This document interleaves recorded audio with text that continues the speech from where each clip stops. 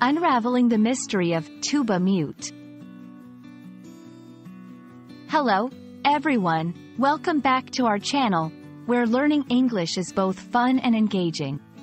Today, we're going to explore a very interesting phrase, tuba mute. This term might sound a bit musical, and that's because it is. But there's more to it than just sounds.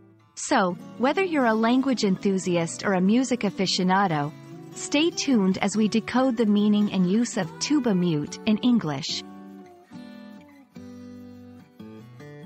Before we dive into the specifics of a tuba mute, let's first understand what a tuba is. A tuba is the largest and one of the lowest pitched musical instruments in the brass family. It's like the giant cousin of the trumpet and trombone and is often seen in orchestras, brass bands, and military bands.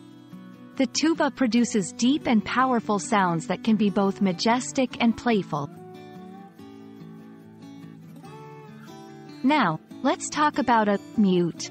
In music, a mute is a device that musicians place into the bell of their brass instruments. The purpose of a mute is to alter the instrument's sound. It can soften the volume, change the tone, and create a variety of sound effects. Mutes come in all shapes and sizes, and each type has a unique effect on the sound. Combining the two, a tuba mute, specifically refers to the mute used for a tuba. When a tuba player inserts a mute into the bell of their tuba, it changes the instrument's natural booming voice to something softer, more muffled, or even nasally, depending on the type of mute used. In an orchestra, a composer might request the tuba to be muted to blend better with a delicate passage or to produce a special effect. In everyday English, the phrase, tuba mute, isn't commonly used outside of the context of music.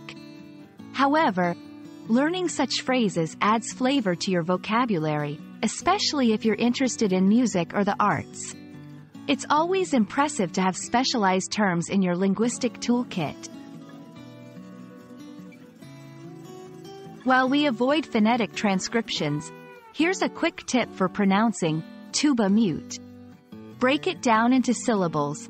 Tuba mute. The tu is like the first part of tu or tu and ba rhymes with ah. Mute is just like the word for silence. Try it out loud. Tuba mute.